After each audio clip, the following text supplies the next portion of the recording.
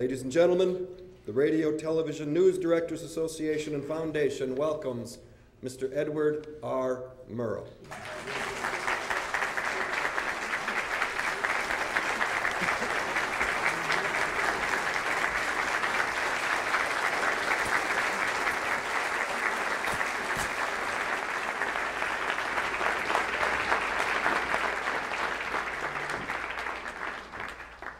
This might just do nobody any good.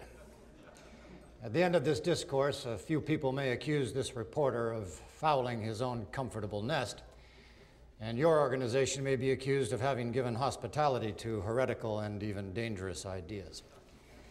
But the elaborate structure of networks, advertising agencies, and sponsors will not be shaken or altered.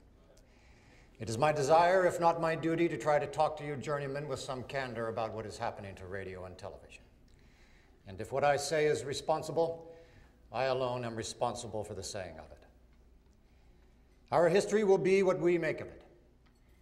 And if there are any historians about 50 or 100 years from now, and there should be preserved the kinescopes of one week of all three networks, they will there find, recorded in black and white and in color, evidence of decadence, escapism, and insulation from the realities of the world in which we live. We are currently wealthy, fat, comfortable, and complacent. We have a built in allergy to unpleasant or disturbing information. Our mass media reflect this. But unless we get up off our fat surpluses and recognize that television, in the main, is being used to distract, delude, amuse, and insulate us, then television and those who finance it, those who look at it, and those who work at it may see a totally different picture too late. I began by saying that our history will be what we make it. If we go on as we are, then history will take its revenge, and retribution will not limp in catching up with us. We are to a large extent an imitative society. If one or two or three corporations would undertake to devote just a small fraction of their advertising appropriation along the lines that I have suggested, the procedure might well grow by contagion. The economic burden would be bearable, and there might ensue a most exciting adventure exposure to ideas and the bringing of reality into the homes of the nation. To those who say people wouldn't look, they wouldn't be interested, they're too complacent, indifferent, and insulated, I can only reply there is, in one reporter's opinion, considerable evidence against that contention. But even if they are right, what have they got to lose?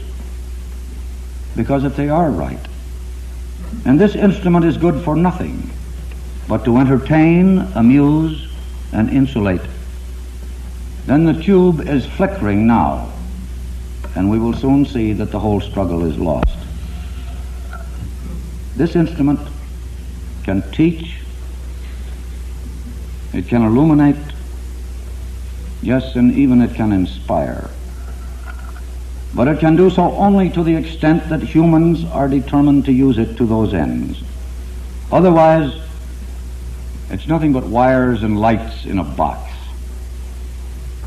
There is a great and perhaps decisive battle to be fought against ignorance, intolerance, and indifference.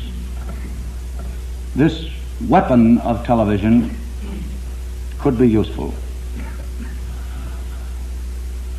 Stonewall Jackson, who is generally believed to have known something about weapons, is reported to have said, When war comes, you must draw the sword and throw away the scabbard. The trouble with television is that it is rusting in the scabbard during a battle for survival. Thank you for your patience.